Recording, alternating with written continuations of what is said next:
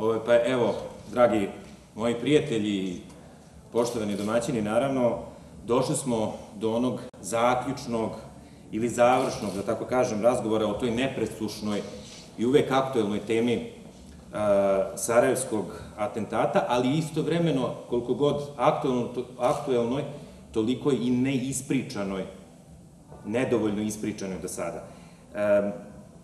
A zašto je ona toliko aktuelna, zašto je ona toliko značajna, a značajna je i sa nacionalnog i regionalnog, a možda još više i sa planetarnog aspekta posmatranja, o tome zašto je značajna, o tome smo razgovarali u, na prethodnim tribinama, o tom samom značaju Sarajevskog atentata, o istorijskim uzrocima koji su ga izazvali, a još više o tim posledicama koje je na svojoj koži i danas Dakle, preko stotinu godina, e, preko stotinu godina od kada je e, Gavrilo Princip ubio Franca Ferdinanda i Vojvodkinju Sofiju, e, osjećaju i generacije koje su, dakle, rođenje posle 1914. godine, a verovatno će to, ta, posledice toga događaja osjećati i generacije koje još uvek nisu rođene u ovom 21.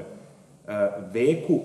Dakle, o svemu tome mi smo govorili na nekim prethodnim tribinama i u sve što smo pomenuli govorili smo i o biografijama, kako atentatora, tako i samih žrtava, e, o motivima i jednih i drugih, e, da se toga kobnog dana, da tako kažem, nađu u jednom sudbonosnom klinču na ulicama Sarajeva i da napišu nova poglavlja istorije civilizacije, kažem, za možda i nekoliko narednih e, vekova. Istovremeno mi smo tada pokušali da demistifikujemo i da identifikujemo sve učesnike zavere, a to svakako jeste bila zavera, dakle zavere koja je rezultirala Čabrinovićevom bombom i nakon nje principovim mecima. Potrudili smo se da rešimo određene nedoumice u vezi sa tim pitanjima i misterijima i bio bi sada pravi propust i jedna metodološka greška ukoliko se ne bismo osvrnuli na sam tog događaja koji e, je tog dana potresao glavni grad ondašnje Bosne i Hercegovine, a koji će e, e, u narednim danima zapaliti i celu planetu, cel svet. Zbog toga sam ja posebno zahvalan našim domaćinima, Kulturnom centru Novog Sada, koji je zaista to dobro razumeo, razumeo da je ovo prikladan trenutak da porazgovaramo i o pojedinostima samog čina atentata, I to je možda najbolji način, to je možda uh, najbolji način da jednim sveobuhvatnim pristupom pravilno razumemo celokupan uh, korpus tema koji otkrivaju uzroke i posledice izbijanja Prvog svetskog rata. Zato je ovaj splet, ovaj kolaž razgovora o Sarajevskom atentatu i završen, odnosno zato taj splet razgovora i završavamo današnjom uh, tribinom, šta se to događalo na ulicama Sarajeva 28. juna 1914. godine, a šta se zapravo dešavalo. Ko je prisustvovao prethodnoj tribini, a ima ih, neki su i prisust, na prethodnim tribinama, sigurno se seća da smo razgovarali i o pripremama a, posete nad Vojvode Franca Ferdinanda i Vojvodkinje Sofije Hohenberg Sarajevo i tada smo rekli da sve što je moglo da pođe naopako toga dana zaista je na kraju i pošlo. E, naravno, mi se nećemo sada vraćati na taj segment razgovora, ali moramo da napomenemo to da same austro-ugarske vlasti, posebno austro-ugarske vojne vlasti, koliko god da su napravili propusta u e, pripremi, odnosno organizaciji e, sistema obezbeđenja vladalačkog para, visokog, jeli, visokog vladalačkog para, prilikom njihove, njihove, eh, njihove posete Sarajevu, koliko god da su oni propusta napravili, toliko zaverenici, to je članovi mlade Bosne, ti omladinci, ta deca, studenti i đaci nisu ništa ostavili slučaju. Bili su vrlo dobro pripremljeni i motivisani, dakle i sa jedne duhovne, a posebno sa jedne logističke i materijalne strane, oni su i tekako dobro razumeli u trenutak u kome stupaju na istorijsku scenu, možda i nisu bili svesni i nisu bili svakako svesni da to jeste jedan veliki istorijski događaj. Oni to kasnije na suđenju, glavnom, na primer, pretresu, pa svi do jednog govore da oni nisu stvari svesni bili šta oni tog dana rade. ne da oni nisu znali ko je taj čovek i zašto ga ubijaju, nego nisu bili svesni tih civilizacijskih dimenzija u istorijskom pogledu do čega će to dovesti. S te strane oni su se kasnije i pokajali, svi do jednog.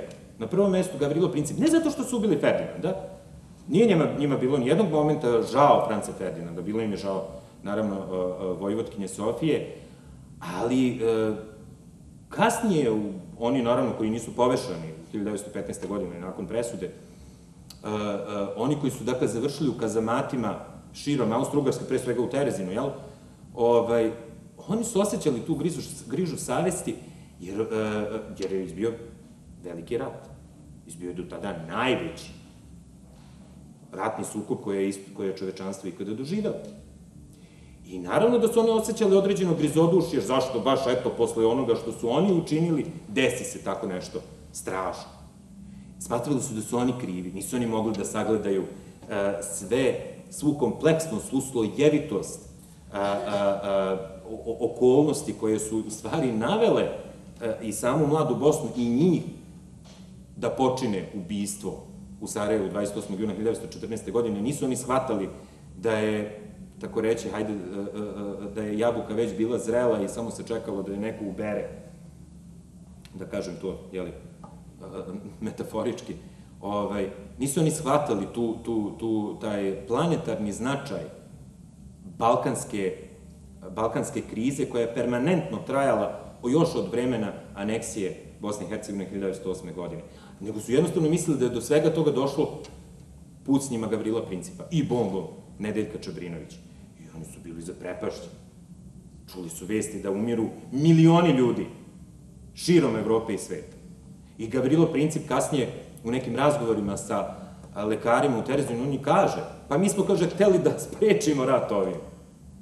Oni su smatrali ukoliko ubiju Franca Ferdinanda da će na taj način sprečiti Austro-Ugarsku da napadne Srbiju. Desilo se suprotno. Oni to nisu naravno mogli razumeti. Svejedno ko je bio inspirator ubistva. Svejedno ko je bio inspirator, stvarni inspirator Sarajevskog atentata, ako se uopšte o tome može govoriti.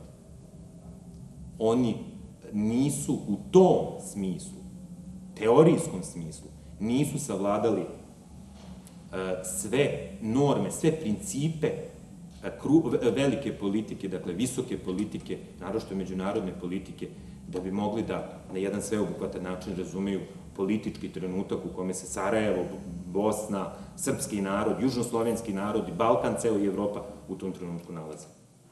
Zato i nije čudo, čudno kada su na samom suđenju, kažem, iz oktobra meseca te, te godine, pa sve do, jeli, do izricanja presude, a, a, razni svedoci, njihovi drugari, recimo, iz škola, iz gimnazije, oni su svedočili o tome da u danima pred atentat, kada su se manje više svi našli u Sarajevu, da su se oni ponašali vrlo, s jedne strane, neuobičajeno u odnosu na njihovo neko ranije ponašanje. Govorimo naravno o ponašanju u javnom životu, u nekom društvenom životu. Uh, pohađali su škole, išli su na nastavu, uh, ali recimo njihov duhovni vođa, duhovni vođa Mlade Bosne, Vladimir Gaćinović, on je izričito tvrdio da su svi mladobosanci vodili jedan asketski život. Da su uglavnom se uzdržavali, ili izričito je rekao da su se uzdržavali od bilo kakvih e, niskih strasti ili e, e, konzumiranja jednog e, mladalačkog života, da to tako nazovemo. Dakle, nisu konzumirali alkohol, nisu konzumirali duvan, nisu išli po kafanama i krčmama, dakle, nisu na taj način provodili vreme.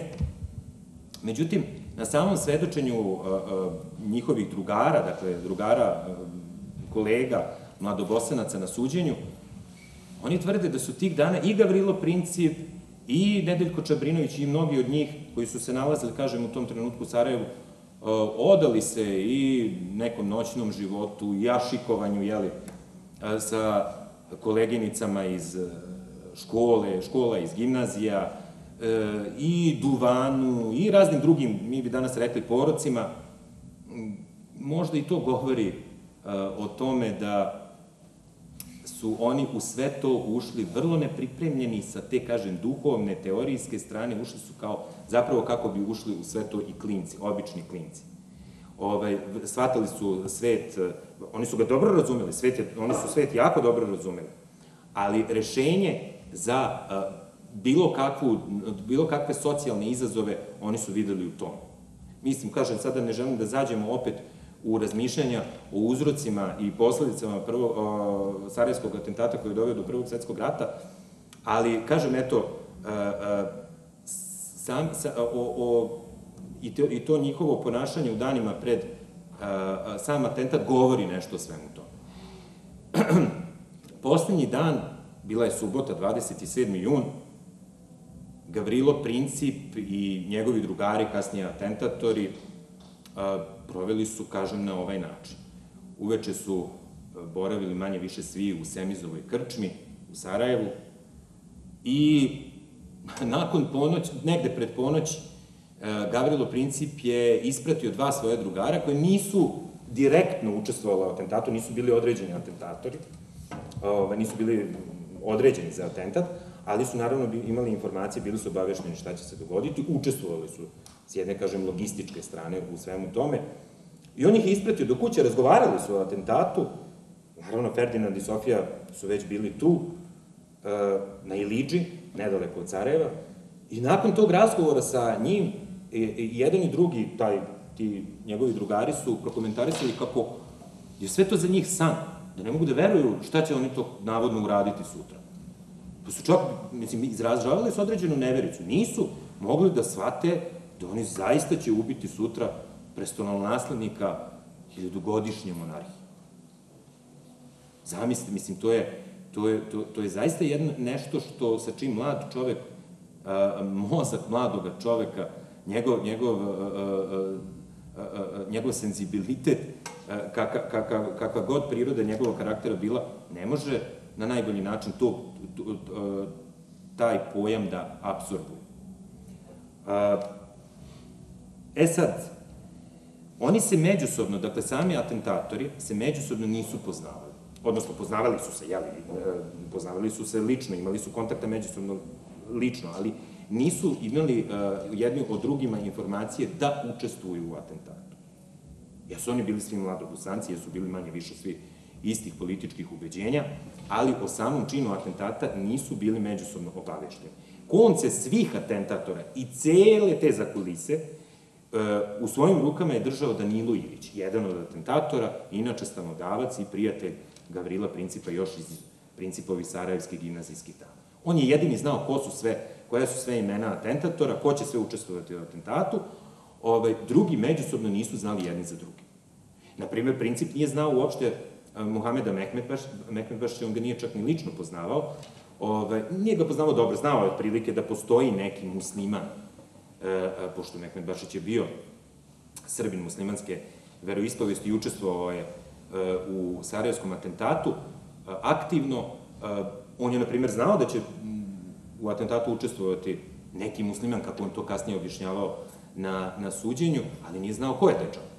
E sad, Ilić, Danilo Ilić je oružje razdelio taj tim učesnicima atentata, bilo je šest atentatora, ovaj, on, je, on je oružje razdelio taj prethodni dan, u subotu, 27. juna, i sutradan ujutru, 28. Sam Gavrilo Princip je polazeći iz Danilove kuće, to je iz svoje postenarske sobe, poneo je oružje, revolver i bombu koju mu je prethodno dao Danilo Ilić i krenuo je, dakle, u 8. ujutru 28. juna krenuo je jeli, na uh, glavni kej u Sarajevo.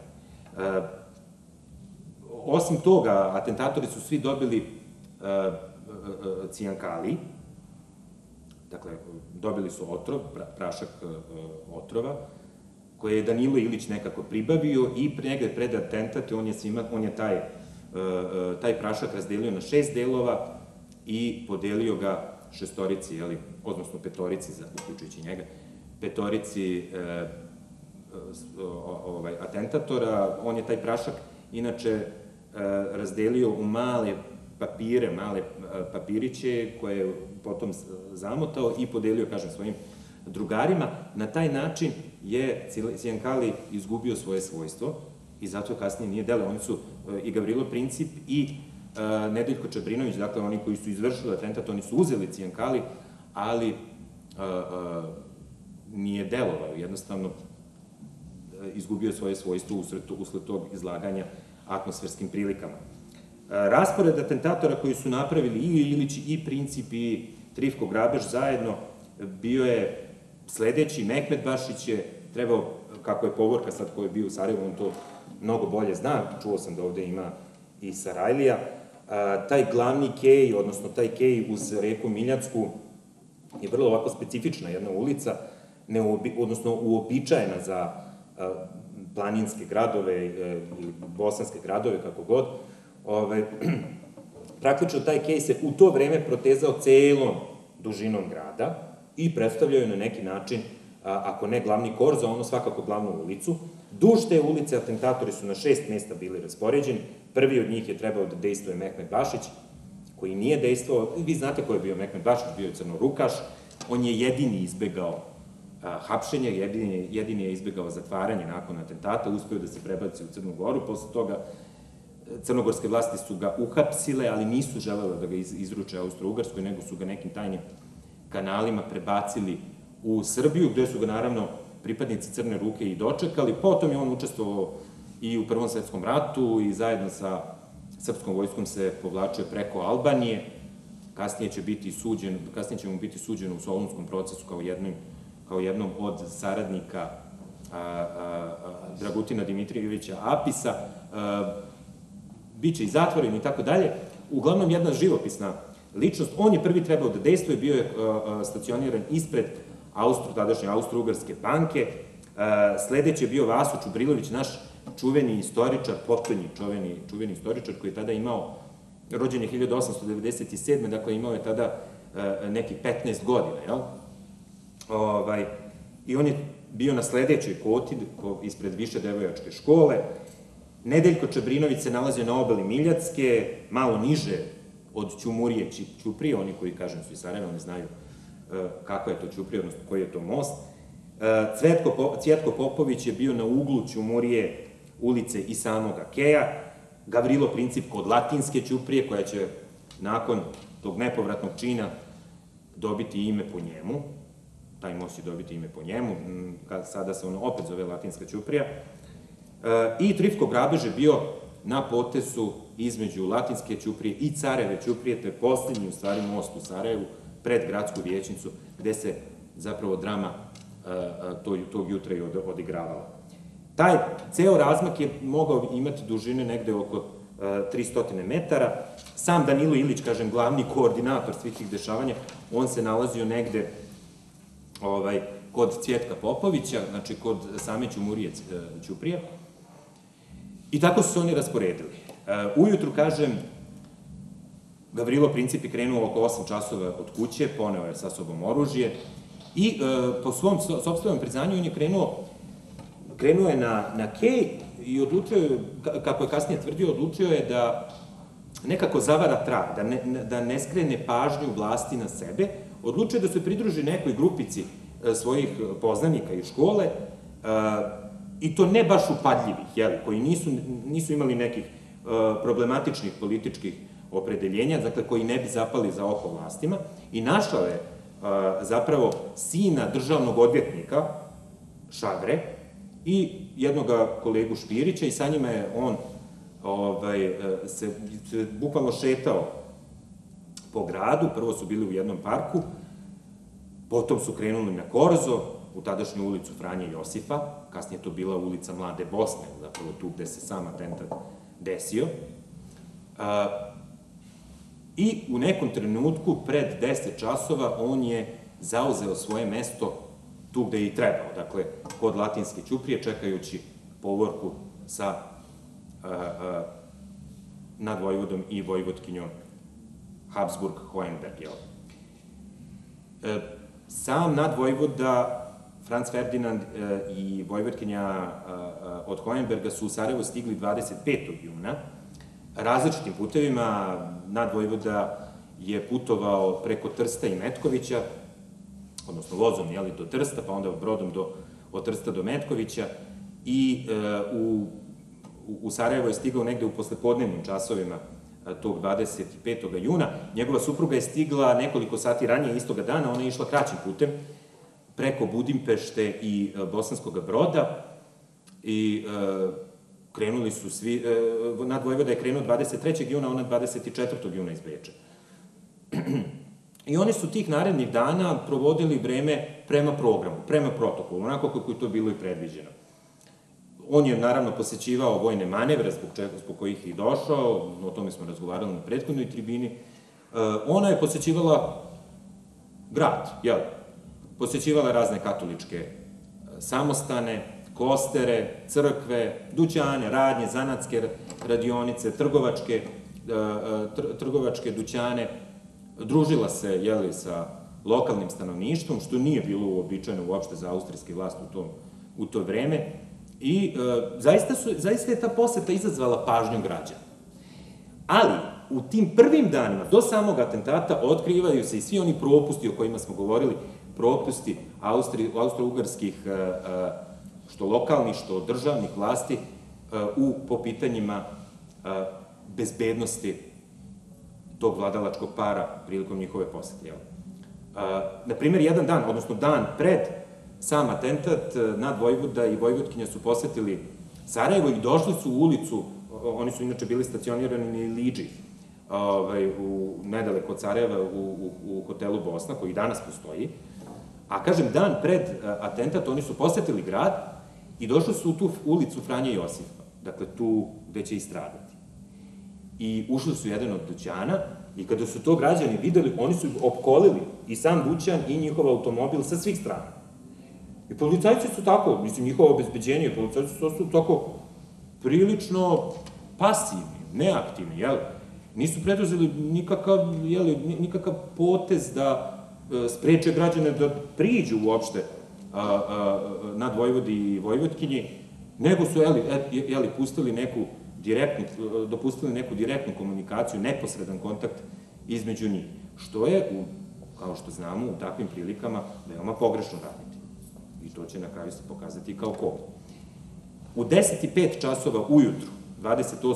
juna, voz, specijalni voz sa Iliđe doputovao je do samog grada, naravno Iliđe je danas deo grada, deo Sarajeva, tada to nije, bio tako, nije bilo tako, Taj specijalni voz je doputovao kod e, fabrike Duvana, tu, je, tu su u stvari nad Vojvoda i Vojvodkinja izašli i e, smestili se u povorku automobila koja ih je e, e, trebalo odvesti do Sarajevske vjećnice,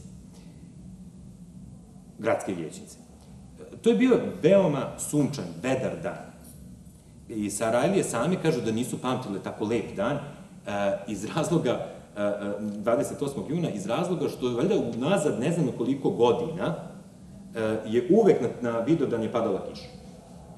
I tih dana je uvek padala kiša. Taj dan je bio vedar, kažu, e, niko nije mogao da pretpostavi da će po svemu tome, po onome što se dogodilo, da će ostati upamćen baš taj Vidovdan. Povorka je imala šest automobila. U prvom automobilu su, je sedeo gradonačelnik grada, Fehim Efendija Ćurčić, u drugim je bio komesar grada, odnosno šef policije dr. Gerde, u trećem automobilu sedio, sedeo je vladalački par, to je nadvojvoda Franz Ferdinand i njegova supruga, u, istim, u istom automobilu sa njima je sedeo i Oskar Poćorek, zapravo poglavar Bosne i Hercegovine. Zatim su naravno, bilo je naravno tu i ljudi iz njihove pratnje, u sledećem, na primer, automobilu bila je dvorska dama, uh, Vojvodkinje Sofije, grofica Vilma Lanjus, sa njom je bio i baron Merici, adjutant e, nad Vojvode Franca Ferdinand i oni su se lagano kretali prema gradskoj vjećnici. Mehmed Bašić ih je propustio, negde oko 10 i 10 i 10 i 15, prolaze kola, ništa se ne dešava. To je bilo, dakle, taj prvo atentatorsko mesto. Drugo atentatorsko mesto koje je držao Vaso Čubrilović, isto, se ništa ne dešava, isto je ovaj, e, e, propustio kolonu automobila.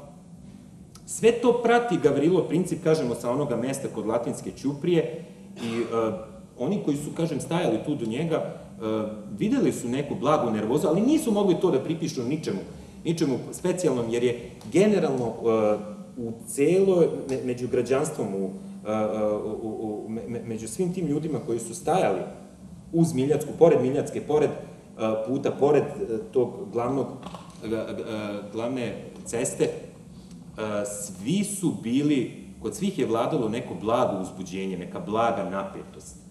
Naravno i oduševljenje zbog same činjenice da se dešava jedan tako važan događaj, kao što je poseta budućeg vladara, njihove države, ali e, neka neobjašnjiva napetost je vladala među ljudima. Kao da su nešto očekivali. Tako su to oni kasnije objašnjavali. Možda je to bila i neka lična jeli, impresija ljudi koja se obično javlja u takvim slučajevima, ali generalno to, to, to su ostala pisana svedočanstva o tome. Tako. I e, kada je, kažem, e, e, kada su, kada su pro, propuštena ta prva dva atentatorska mesta, na ta, odnosno kada su e, prva dva atentatora propustila e, kolonu ka trećem mestu, a to mesto je bilo kod Ćumurije mosta, koje je držao Nedeljko Čebrinović, kaže da jednom su svi videli da je nešto crno poletelo iz mase, neki predmet, neki objekat, i udarilo od zadnje sedište, odnosno od naslon zadnjega sedišta automobila u kome je sedeo, u kome su sedeli nad Vojvode Franz Ferdinand i Vojvodkinja Sofija. E sad, koliko ljudi je tu prisustvovalo, toliko ima svedočenja o samom, samom činu eksplozije i onome šta se kasnije dešavalo. E, svi su saglasni sa tim da se desila eksplozija, međutim, naravno, svako ima subjektivno negde viđenje situacije. Ono što je najpouzdanije jeste to da je bomba zaista se odbila od taj naslon i pala na pločnik. Tom prilikom kad je ona udarila u uh, zadnji, zadnji deo sedišta, odnosno u naslon sedišta njihovog automobila, uh, ona je tom prilikom ozledila malo uh, Vojvodkinju Sofiju od Hohenberga i to po njenom vratu, prosto upaljač je zagrebao po vratu i ona je osetila neki oštar bol i poželila se ljudima, pre svega svom suprugu, a onda i ljudima koji su se nalazili tu u automobilu. Automobil je u prvi mah jurnuo napred i onaj prvi i drugi, oni su videli, bili su svesni da se, ne, da se to desilo, videli su svi bombu. Bomba je pala, nakon nekoliko sekundi je eksplodirala, on je, nju je aktivirao sam Nedeljko Čabrinović je, pre nego što je bacio on on je upaljačem, njenim upaljačem, e, e, nju zajedno sa upaljačem je udario od e, električni stup i potom je bacio. Bomba je eksplodirala, napravila veliki krater, ranila nekoliko osoba, od prisutnih građana, dakle, naravno, polupalo su se stakla po dućanima okolo. Nastala je jedna, jedna haotična potpuno situacija, ovaj, u tom celom metežu ranjen je adjutant Oskara Počoreka, taj baron Merici, i, kažem, Vojvodkinja od Kojenberga, njene naravno ozlede nisu bile u tom trenutku na bilo koji način e, teške, ali ipak je ozleđena. Baron Merici je imao nešto teže ozlede, ali nikako opasne po život. Nastalo je komešanje. Ljudi su odmah postali svesni da se desio atentat čuju se uzvici, čuje se strašna vika sa svih strana, plač žena, dece. E, princip je video da se to desilo, to, to, to se nalazi neki, e, to mesto gde se desilo atentat Čabrinovića, nije daleko, on je neki 50 metara od mesta gde je stajao princip u tom trenutku, dakle na strani, e, bio je prislonjen, prislonjen na kamenu balustradu na, na samoj reci, na Keju, i on kad je video to sve, on je poskočio na na, na tu balustradu, poskočio na ogradu, e, stavio ruke ovako iznad e, glave da bi što bolje video, odnosno iznad očiju, i kad je video da se nešto dešava, odnosno da ne može s tog mesta baš detaljno upratiti ono što se tamo dešava na, e, atentatorskom mestu koje je držao Nedeljko Čeprimić, on je judnuo tamo, odgurnuo je par ljudi oko sebe, odgurnuo je te svoje drugare koji su sa njim stajali, odjurio je tamo da vidi šta se dešava. Za to vreme Nedeljko Čabrinović skače u Miljacku, prethodno je uzeo otrov, Međutim, otrov, otrov ne deluje. I on leže u Miljacku, leže u rečicu, tada je, i danas je, i u tom trenutku je ona vrlo plitka, a, samo što je tad bila pitka, ovaj, i on a, leže u reku i počinje da pije vodu, a, kako bi ublažio to, to, taj bol od, a, od otrova, jer ga je otrov strašno pekao. Za njima su skočili, naravno, policajci, dva policajca, uspevaju da ga uhvate, iako su zazirali od njega nekoliko minuta je trajalo to njihovo odmeravanje. Čabrinović nije imao nameru da beže. Ali oni nisu znali da li on sa sobom nosi još jednu bombu, da li ima pištolj, da li nema, da li će nešto učiniti nepredviđeno. I, I to sad princip gleda to odmeravanje snaga između policajaca i Čabrinovića u samom koritu reke, a sa druge strane on ne zna da li je, on, on je pomislio da je atentat uspeo. Međutim, u nekom trenutku on vidi da kola prolaze. Jer kola su se zaustavila nakon eksplozije, što je opet ne veliki propust obezbeđenja nad Vojvode Franca Ferdinanda, to, ta, i samog protokola, jeli, posete, to se u tim situacijama ni tad ni danas ne radi. Međutim, kola su stala, Franc Ferdinand je u jednom trenutku čak izašao iz kola. Ljudi su naravno jurnuli na pločnik, pa, ga, pa ih policija rasteruje, dok na njega niko ne obraća neko, ne, nešto posebno pažnje. I on se tu šeta oko kola. To ne čini samo on, do duše, čine i, uh, uh, i, i ljudi iz njegove pratnje iz drugih kola. Uh, Vilma Lanjusova, dvorska dama, Vojvodkinje Sofija, ona, ona tu na licu mesta ukazuje prvu pomoć Vojvodkinje Hohenberg, odnosno sanira je tu ogrebotinu, tu ranu koja je nastala uh, prilikom aktiviranja upaljača uh, od bombe koji je, koji je ogrebao Vojvodkinju po vratu. Dakle, jedan potpuni, jedno potpuno grozničava i haotična situacija, koja je pre svega izazvana nesnalaženjem ili neznanjima, nesposobnostima organizatora cele posete. I vojnih i civilnih vlasti koji su tu trebale da, da reaguju na drugačiji način. Kažem, princip sada gleda kada, kad, naravno, nakon nekoliko trenutaka, nakon nekoliko minuta, automobili su krenuli po predviđenom planu ka gradskoj vjećnici i sad princip gleda kako kola prolaze i jasno mu je da atentat nije uspeo, ali on u celom tom metežu ne vidi nad Vojvodu. On vidi samo Sofiju. I e, prolaze kola i sad on u trenutku tu razmišlja šta da radi. Da li da, da, li da puca na automobil koji je sada već ide velikom brzinom, ne može ga nikako sustići, odnosno ne može na pravilan način nanišaniti ovaj, e, e, na, sam, na same ljude u automobilu, ili njegov prvobitni plan je bio da ubije Nedeljka Čabrinovića ukoliko ovaj počini atentat, odnosno ukoliko ovaj, mu atentat uspe i, na, i posle toga samog sebe. Znači, njegov plan je bio to, da ubije onoga ko pokuša atentat, odnosno onoga ko izvede atentat, ovaj, i nakon toga da ubije i samoga sebe. I sad on u, toj u tom, tom trenutku ima dilemu, da li da ide za nadvojvodom ili da realizuje taj svoj prvobitni plan o ubistvu i samoubistvu a, a, Nedeljka Čabrinovića i na kraju sebe.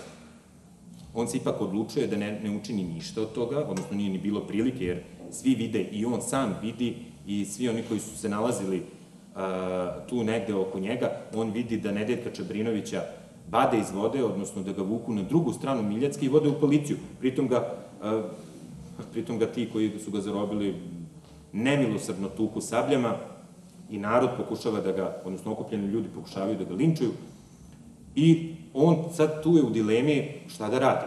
Ostavimo njega za sekund, povorka automobila stiže pred gradsku vjećnicu, naravno svi su nezvereni, svi su u, u, u jednom stanju krajnje uzbune, izlaze napolje, odnosno dolaz, penju se, jeli, nad, Vojvodki, nad Vojvoda i Vojvodkinja se penju zajedno sa pratnjom na stepenice, tu ih dočekuje onaj Fehim Efendija Ćurčić, gradonačelnik Sarajeva, koji je ne, na neki način i svedočio svemu tome, ali on je bio u prvom automobilu i brzo je otišao odatle, on nije ni sve ni video, ali svi su zbunjeni.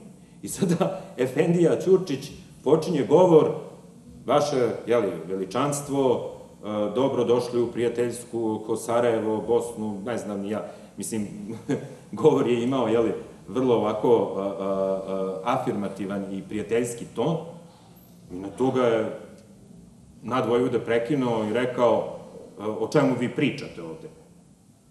Pričate mi o prijateljstvu, a mene dočekujete ovde sa bombom. Ali, ka, i Vojvodkinja je krenula da ga umiruje, jeli, da ipak ne reaguje tako burno i on je rekao, ali o dobro, dovršite vi taj svoj govor. I zaista, govor je završen. E, Vojvodkinja se povukla na sprat, e, na jedan cerkl sa muslimanskim ženama, kako je to bilo i predviđeno, dok nad Vojvoda je ostao tu u vestibulu e, ove gradske vjećnice. Sve to zajedno je potrajalo neko vreme, odnosno ta poseta gradskoj vjećnici je potrajala neko, neko vreme i e, prema planu oni su trebali da idu u posetu muzeju. A do muzeja se dolazilo upravo, znači, kre, e, da, su, da, da su ostvarili svoj prvobitni plan, trebali su da krenu ispred gradske vjećnice, da nastave kejom do, e, praktično do Ćumurije, do Latinske Ćuprije, i da skrenu u tu ulicu Franje Josipa, tadašnji Korzo, a da, pa ondašnji, jeli, za vreme socijalističke Jugoslavije i za vreme kraljevne Jugoslavije ulicu Mlade Bosne. Ove, dakle, trebali su da skrenu u tu ulicu u kojoj će biti ubijeni. Međutim, Oskar Počerek e, na pitanje nad Vojvode da li će se ponovo nešto tako desiti, da li će se desiti ono što su već doživeli, Oskar Počerek je rekao da to ne, niko ne očekuje, ali da ne može niko da garantuje 100% bezbednost, s obzirom da je stanje očigledno u gradu e, e, što se tiče neke političke situacije i raspoloženja dovedeno do usijanja. I on je predložio, Oskar Počerek je predložio da se, kako on to rekao, da ajmo mi da kaznimo građanstvo Sarajeva i da ne, ne idemo uopšte muzej, nego da produžimo pravo kejom, pravo obalom za, uh, na Iliđu i da se više, da, odnosno da na neki način prekinu tu posetu, odnosno da prekinu program posete. Što je Nadvojvoda i prihvatio. Međutim, o tome nisu bili obavešteni uh, nisu bile obaveštene domaće vlasti. Nije bio obavešten gradonačelnik i nije bio obavešten šef policije. Što mnogo govori sa, što mnogo govori o tome kakav su odnos imale državne, centralne vlasti Austro-Ugarske monarhije prema samoj Bosni i Hercegovini. Oni nisu nalazili da uopšte trebaju domaće vlasti da obaveštavaju bilo čemu. I onako su izvali u, u tim intimnim uh, i internim uh, krugovima glupavi bosanci. Tako su nazivali stanovništvo Bosne i Hercegovine. Generalno. Ovaj, I sad, ponovo se raspoređuju u automobile na onaj način kako su to učinili i toga jutra kada su dolazili u Sarajevo. U, prvom, u prvim kolima, u prvom automobilu nalazio se uh, Efendija Ćurčić, potom i zajedno sa doktorom Gerdeom. U drugim kolima ovaj put nalazio se nad Vojvoda i uh, Vojvodkinja Sofija, zajedno sa Oskarom Počerekom, a grob Harah, e, koji se takođe s njima vozio, ovaj put je stao na papučicu, kako bih rekao, automobila, odnosno nogo e, stop, ali sad ne znam tačno koji je, koji je stručan termin za taj deo automobila, naročito tadašnjeg automobila, uglavnom stao je sa strane automobila kako bi svojim telom, sa leve strane, kako bi svojim telom zaštitio nadvojvodu Franca Ferdinanda I to je možda bila i naj, mislim, najvidljivija, uh, uh, sigurno je bila najvidljivija zaštita uh, uh, nad Vojvode i njegove supruge i da je sa te strane dolazio princip, odnosno da, je, da su pućni stigli sa desne strane, teško bi uopšte nešto se i dogodilo, teško bi se i dogodilo ubistvo, dvostruko ubistvo. Ali svejedno, povorka kreće od gradske vjećnice, za to vreme Gavrilo Princip se tu šetao po keju, dok su oni bili u gradskoj vjećnici, razmišlja šta da radi i on kasnije priznaje, kaže, ja sam znao da oni trebaju da se vrate, odnosno da po programu posete trebaju da e, idu u muzej.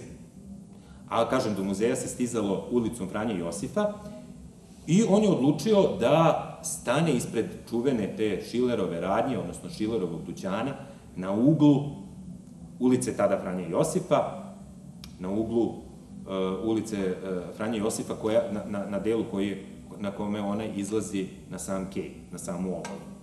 I on je tu stajao. Uh, nad Vojvoda je, kažem, dogovorio se sa počerekom da oni idu pravo, da ne skreću u tu ulicu, nego da krenu pravo.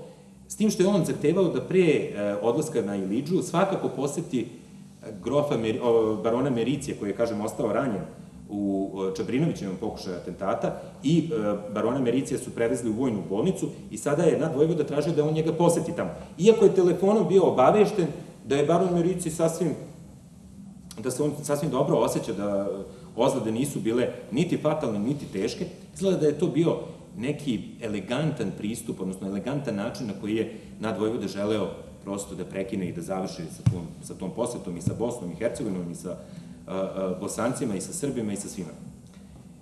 I oni su tako krenuli u tom poredku od šest automobila, dolaze do ugla, ulic, do, ugla Keja sa ulicom Franja Josifa i pošto gradonačelnik i doktor Gerde, šef policije, komesar grada, kako god je njegova titula bila, oni nisu imali obaveštenje o tome da je došlo do promene plana i oni skreću u ulicu Franja Josifa.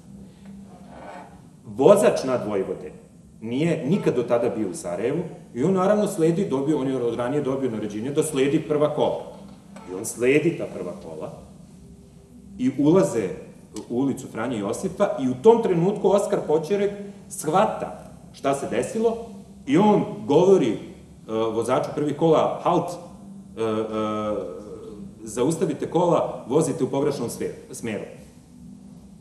Naravno, sva kola se u tom momentu zaustavljaju i ova četir, četvora kola koja idu iza nad Vojvode i uh, prvi automobil i nad Vojvodina automobil, ali i prvi automobil gradonačelnika, oni sad pokušavaju da se vratu u Rikverc. A sve to se dešava bukvalno na metar, metar i po ispred Gavrila Principa.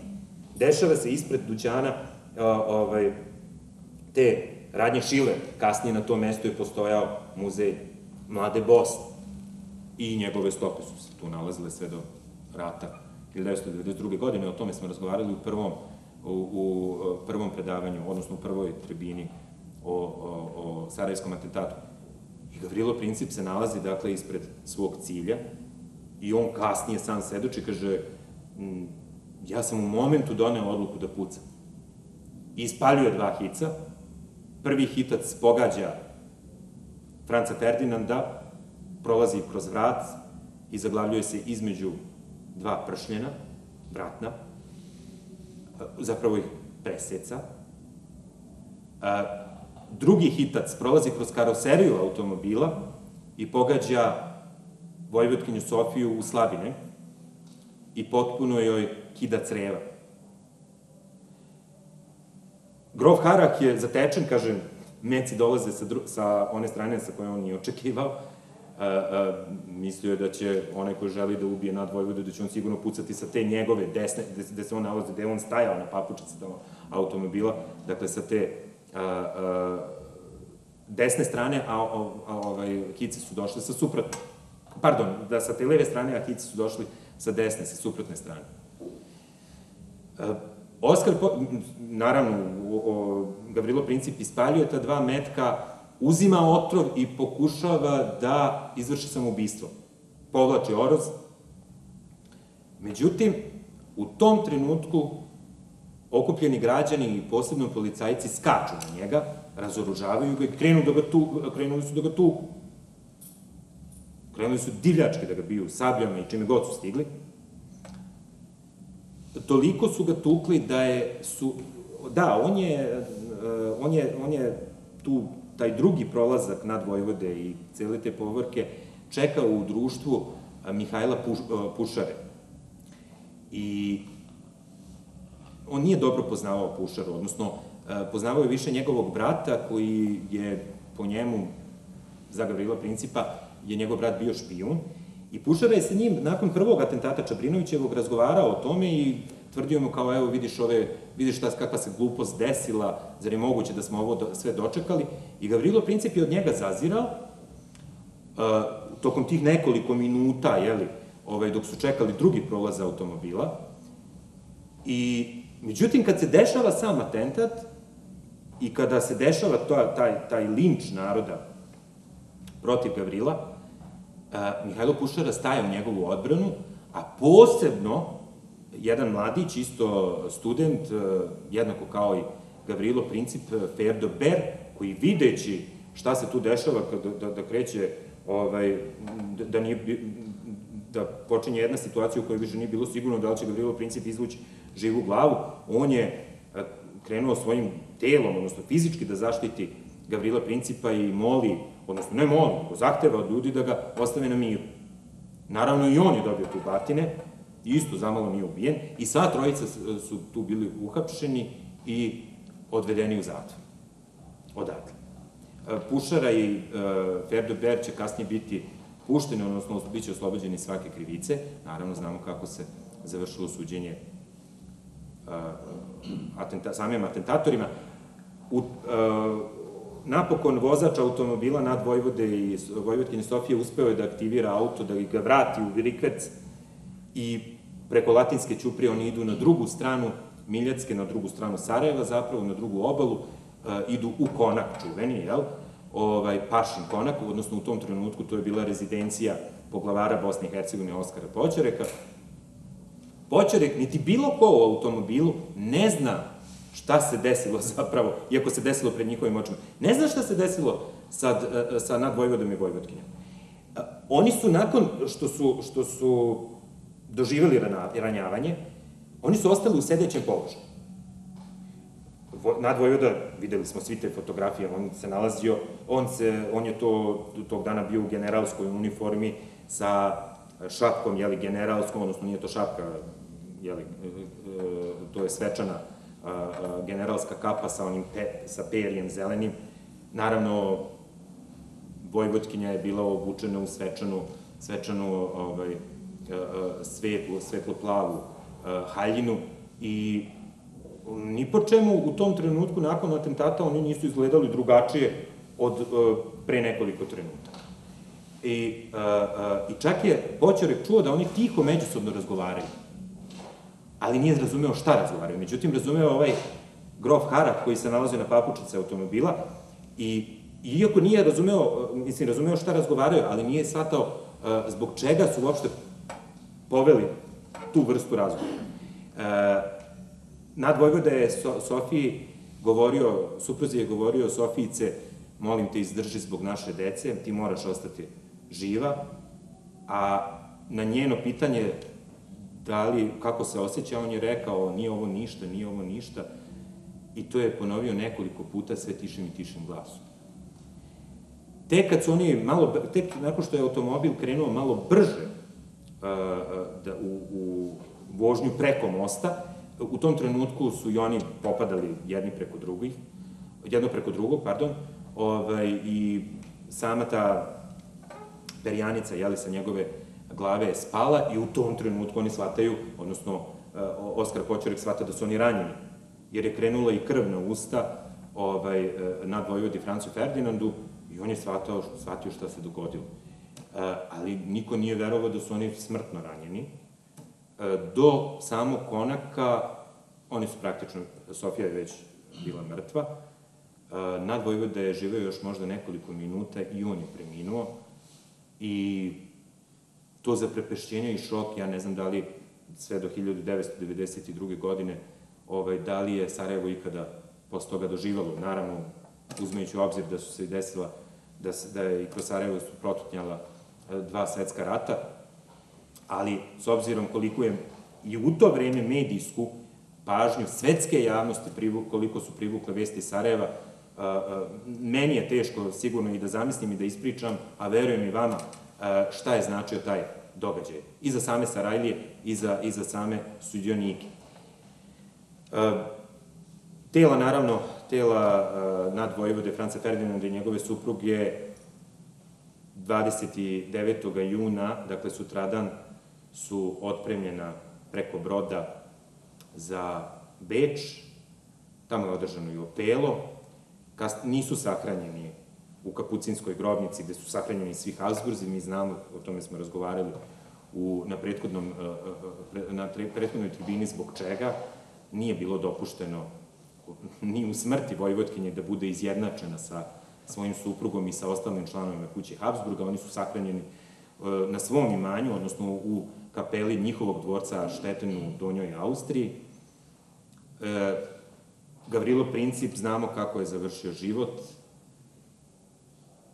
evo, 28. aprila je bila još jedna tužna godišnjica, još jedan tužan jubilej, 98 godina od njegove smrti u zamku Terezin.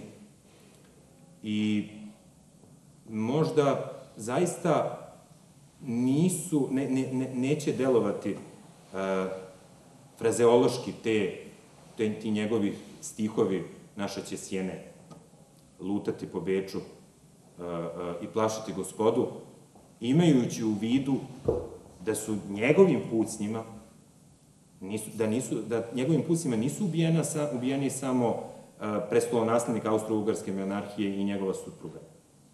Njegovim pucnjima počela je demontaža, kako sam ranije rekao, hiljadugodišnjeg Habsburgskog carstva. Imperije koje, uh, za koju se govorilo da u njoj sunce nikada ne zalazi, makar u jednom trenutku, s obzirom koja su sve prostranstva tokom vekova u svetu zauzimali. E, koliko god da Gavrilo Princip toga nije bio svestan, mi smo danas toga svesni. I ukoliko to ne možemo da cenimo, onda sigurno ne cenimo ni sebe. Dakle, nije tu reč o Gavrilu Principu, jer Gavrilo Princip je zaista odavno postao princip našeg opstanka, koliko god sama činjenica da neko nekog ubija i koliko god sama činjenica da neko na tragičan način doživi kraj svoga života izgleda gnusna i jeste gnusna. Ali značaj istorijski, politički, kulturološki tog čina e, nemerljivi. I mi smo o njemu ranije govorili. Samo još dve, tri rečenice. Zbog toga što se to uporno negde preskače u sličnim situacijama kada čujemo neke razgovore, odnosno sudelujemo u nekim razgovorima, što javnim, što privatnim, jel, ovaj, internim o, o Sarajevskom atentatu. E, šta se tog dana događalo, to smo videli na Sarajevskim ulicama. Ali malo ko pripoveda o tome šta se narednih dana događalo. I tog, u stvari, dana u kasnijim satima i narednih dana na ulicama Sarajeva. Sarajevo je doživelo istu onu sudbinu, ili srpski narod, građani srpske nacionalnosti prvenstveno, u, u samom Sarajevu, istu onu sudbinu koju je u tom trenutku i narednih godina uh, doživljavao i Gavrilo Princip u zatvoru. Sećamo, svi znamo onu čuvenu Gavrilovu fotografiju, to je zapravo, mislim da je to svetski poznata fotografija gde on ovaj, portretna fotografija gde on gleda u objektiv, to je u stvari ovaj, foto, fotografija ta nastala je nakon ispitivanja, odnosno nakon privođenja tog dana i Gavrilo Princip uopšte nije tako izgledao pod broj 1. To uopšte nije bio njegov lik. Njegov lik je bio, znači, svega nekoliko sati kasnije. To, nisu, to nije 10 sati, 9 sati, to nije prošlo mnogo sati. Prošlo je to prvo ispitivanje, po znacima navoda. Dakle, možemo govoriti o minutama njemu je već lični opis bio potpuno promenjen. On uopšte nije tako izgledao. Dakle, ono što mi vidimo, e, što vidimo danas na, na, na toj fotografiji, to je jedan čovek koji je potpuno a, a, natečen od uboja koje je dočekao u policiji. Sličnost, a, a, ili ona fotografija, možda još rečitija, ona fotografija njegovog hapšenja, gde se vide isukane sablje kako tuku neke, nekog čoveka na ulici. I za tu fotografiju se kaže da je to fotografija uh, trenutka hapšenja Gavrila Principa. Zapravo na fotografiji nije on, nego je taj Ferdo uh, Ber, koji je pokušavao da ga zaštiti. Ali nebitno koje se nalazi na fotografiji, ona je vrlo rečita iz ovog razloga koji sam naveo. Ove, sve to što su oni doživljavali u tom trenutku, doživljavaju građani srpske nacionalnosti tog dana u kasnim satima i narednih dana.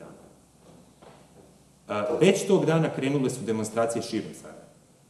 Sutradan ujutru, u 8 časova, iz grade policije, izlazi stoti, u tom trenutku, u stvari 50 omladinaca, njima će se kasnije pridružiti još otprilike 200 takođe njihovih vršnjaka, kasnije i, i građana drugih životnih dobi, izlaze iz policije, dakle, sutradan 29.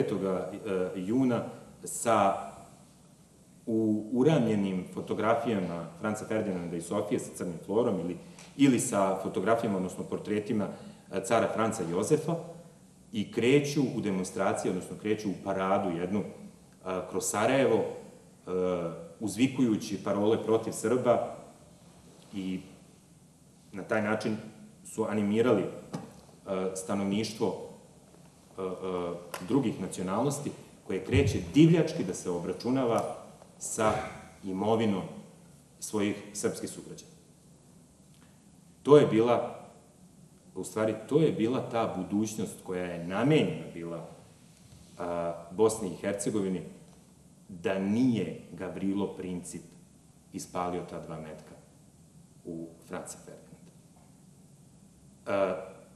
Neki kažu da je tog dana napadnuta bila civilizacija, da je toga dana zapravo a, Balkan pokazao svoje necivilizovano lice, a učinke te civilizacije videli su građani Sarajeva tih dana, a vidjet će, Boga mi, i građani zapadne Srbije, to je seljani i, i, građani zapadne Srbije uh, i drugih, u stvari, delova Kraljevne Srbije na koje je stupila, u, kojoj, u je stupila kaznena ekspedicija centralne sila, u prvom redu Austro-Ugrske. Ja bi se sada ovde zaustavio i zahvaljujem vam se na pažnji.